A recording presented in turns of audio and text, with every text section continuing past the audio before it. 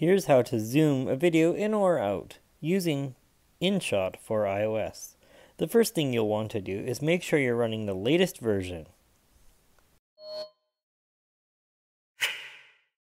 I love Mike's videos. Please subscribe to his channel for more tips, tricks, and tutorials. Open the app, tap on video, and bring in the video clip that you want to work with. In this video, I'm going to use a video clip that I've already been working on.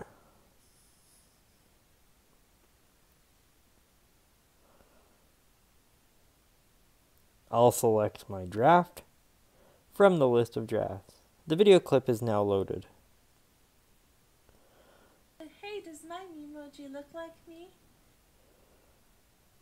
First, play the video to make sure that it's the one you want to use. Then, tap on Canvas and select Zoom. If you change the ratio, you'll notice a background will appear in the video. This is important for later. I'll set it back to no frame and then tap zoom. There are two ways to zoom a video in or out.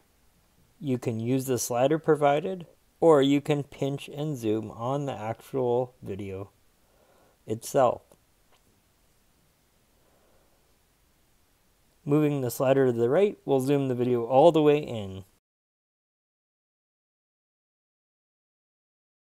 If I wanted to zoom the video out, I could also pinch to zoom it out back to normal. Moving the slider back to the middle will bring the video back to the normal zoom. This is the zoom level the video was at before I started working on it. Moving the slider to the left will zoom the video all the way out. Notice that you see a blurred background behind the video. Now that I've got the zoom level I want, I'll tap on the check mark and go back to the main timeline.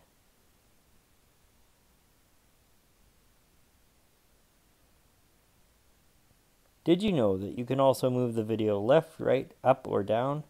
To do this, tap on Canvas once more, tap on Zoom, and you can either use the four options below the slider to do this or simply long press on the video and drag it to the position that you want it, either left, right, up, or down.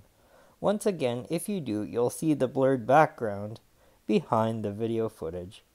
Keep this in mind. If you're working on a video clip and you need some help, tap the question mark in the upper right hand corner. This will open the help documentation.